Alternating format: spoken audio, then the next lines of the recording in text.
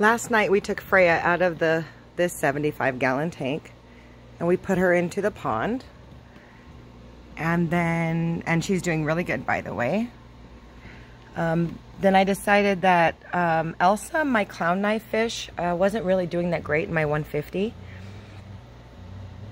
And I felt that she would do a lot better in the 75 gallon. She was just hiding in a cave and I never saw her eat or come out to eat.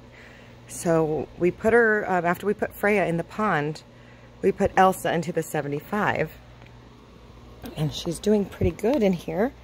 I figured she would have, there's a lot of fish in the 150.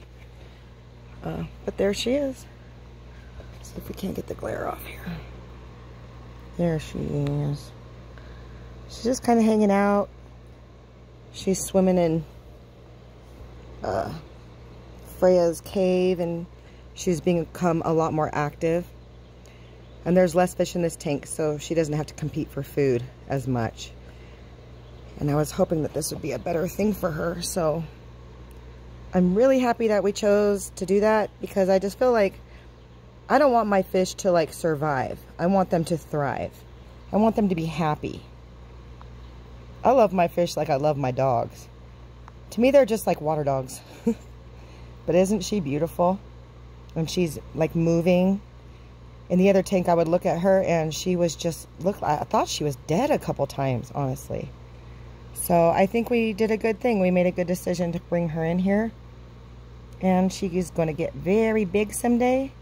But for now, she's little and she's actually moving. She was in the cave earlier. So she's actually moving around and I think it's good. Like sometimes with, you know, when you're doing aquascaping and stuff, you have to know your fish and where they're happy. And sometimes you have to move them. And I think this was a good move for her. And I think it was a good move for Freya, even though I miss Freya in this tank a lot. But she's swimming in the pond and just having a blast. So, all right. I just wanted to give an update. Oh, Elsa, let it go, let it go. Just kidding. All right, bye.